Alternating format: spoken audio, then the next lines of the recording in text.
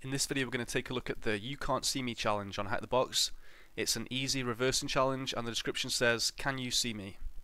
So we'll begin by downloading the file and take a copy of that into our local directory and let's go and do some basic file checks.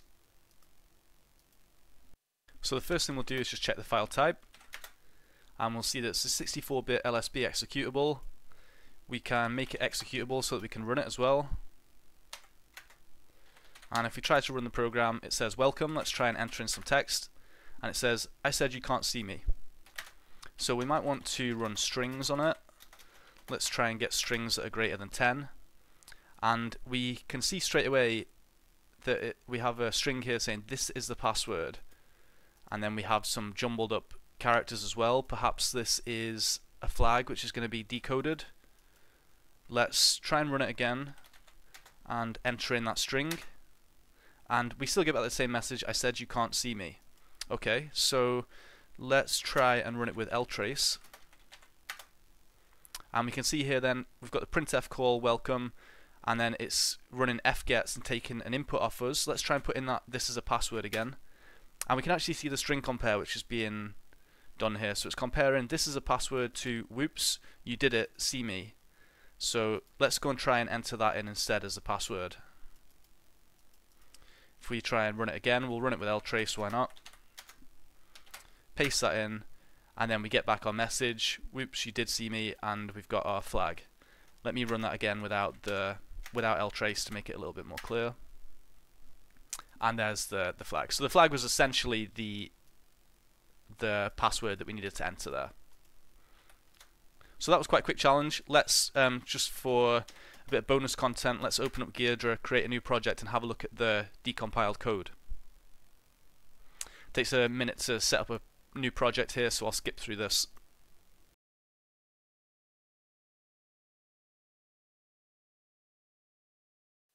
And once Ghidra's open, we can see here we have our decompiler on the right, we have our disassembled code here on the left, and on the very left we have our program sections here up at the top, and we have imports, exports, and functions. So the first thing we'd probably want to do here is go and have a look to see if there's a main function.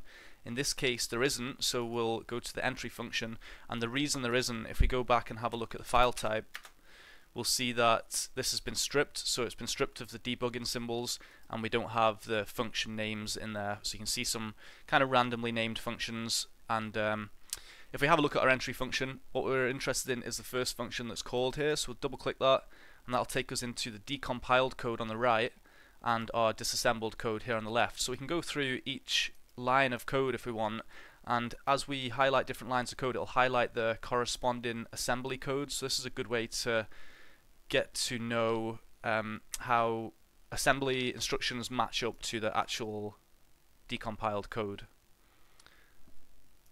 We can also go to have a look at the strings in the program. So if there was a particular string of interest that we might want to skip to, for example, here we know it's printing the flag here, so it has hack the box and then the format specifier for the string in the middle of the curly braces. So we might click on that and that'll highlight this in the code. So we can see here the hack the box string and we're going to see what functions this is referenced in and then we can go and double click that and go straight to the function and we can see that actually it's referenced right here. This is where it's going to print out the flag. So if you have a closer look at the code here, we'll see that variables declared at the beginning, we have most of those variables being assigned values after we, we get the welcome message being printed out. And we can see that each of these are hex values. If we go over to our disassembled code, then we'll be able to see the strings for a lot of these. So for example here the first string is this is the password. If we take a copy of this hex of these hex values and then we can take them to cyberchef or ASCII to hex.com and convert them. And we'll see that we have this is in reverse order. So that's the string that's being pushed onto the stack.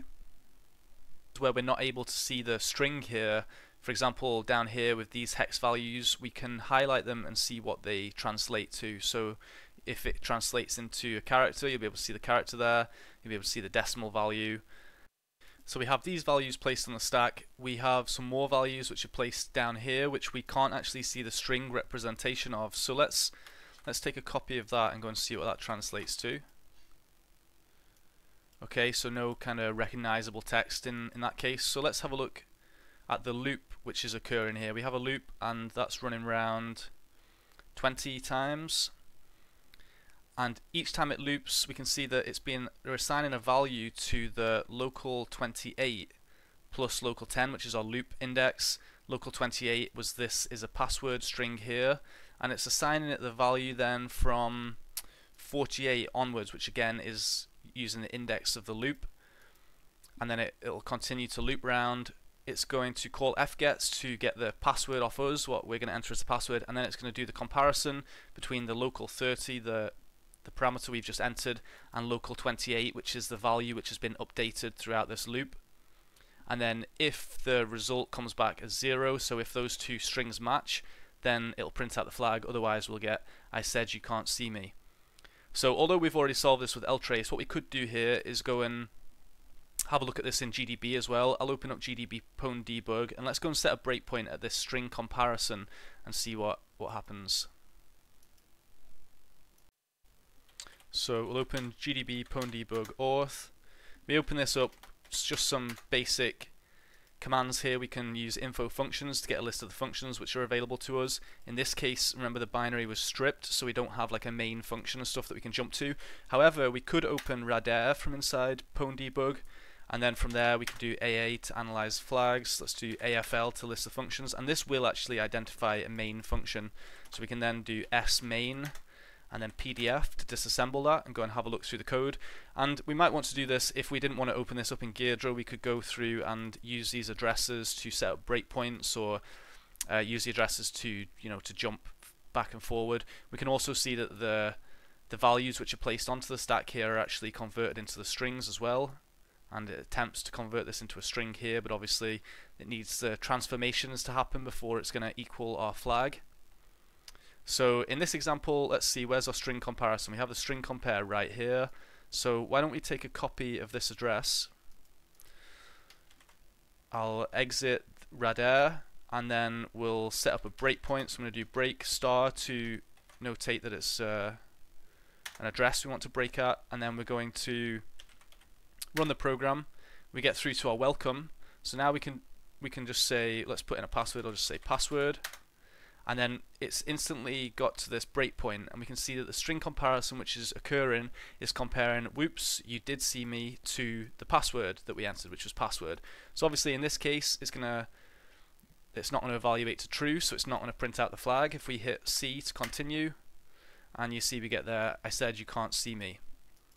We could also get the offsets or the addresses from Ghidra as well to enter this in. So let me delete the breakpoints and let's set up a breakpoint somewhere else. So we set up a breakpoint at the string comparison there, but we might want to try and debug this loop a little bit more and see what's going on there. So if we have a look at the loop, if, if we select different parts of this loop here, it's going to highlight different parts of the assembly code. So we might decide here that we're interested in seeing what value is being assigned to this location. Each time it loops around, it's assigning a new value here. So what's it assigning each time? So if we have a look here, we'll see that right here it's moving the the value from the DL into our byte pointer. So we could just set up a breakpoint here. I'm going to just take a copy of that address. And let's go back to GDB now. We'll set up this breakpoint 0x and paste, paste in that new address. Try and run the program. And you'll see it's got straight to the breakpoint before it's even asked us for the password. It stopped at this address, and we can see that we have the same instruction that we have right here and we're interested in what's this DL register holding before it is transferred over onto the stack. So we can simply just say here, let's do P DL, and that'll print out the decimal value. It's 119. We could do that as well print it as hex. We'll see it's 77 in hex. What we're going to be interested in here is printing it as a character because obviously we know that the flag is going to be a string and we can see that the first character shows us W. So let's do continue again. It's going to go through to the next breakpoint, which is going to be the next iteration of this loop. And then again, we could do the same thing, print that as a character. We'll see that this one's H. And let's continue again, print the character. We'll see that this one is a zero. So this was, I think, the next character is going to be a underscore. Oh, it's a zero. Oh yeah, okay, so it was whoops was the beginning of the flag, so that's what we're getting at the moment. So the next will be a S. and yeah, we can basically continue in that fashion. If we want to delete the breakpoints, we can just delete the breakpoints, hit continue, and then it will continue execution as normal. But I thought I'd just include this, seeing as the challenge was quite short, just include a bit of uh, some basics on Ghidra and on GDB. Uh, I hope you've enjoyed the video. Any questions or comments, leave them down below. Thanks.